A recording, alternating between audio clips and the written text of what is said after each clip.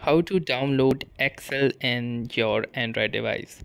So hey guys welcome to this tutorial. In this tutorial i'll be guiding you through the steps on how you can download ms excel in your android device so now in order to download ms excel for your android device the first thing that you will need to do is simply launch the google play store by tapping onto the app icon.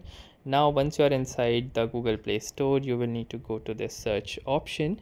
And within the search page go to the search bar and search for ms excel now once you have typed in hit the search button and you will come across this application that is microsoft excel spreadsheets by microsoft corporation which is around 79 megabytes.